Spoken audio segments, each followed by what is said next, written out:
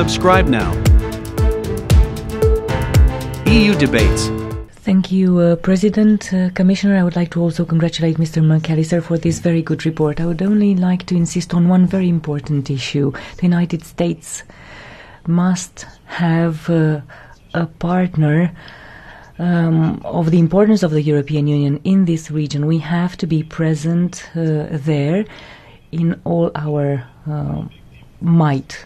We have uh, a strategic objective to meet that is the objective of guaranteeing to our partners that we are capable of developing a partnership based on cooperation in the interest of both parties.